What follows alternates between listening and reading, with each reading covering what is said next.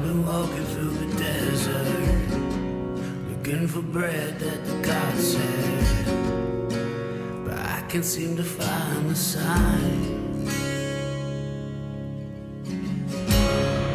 I can't tell where the sun's set.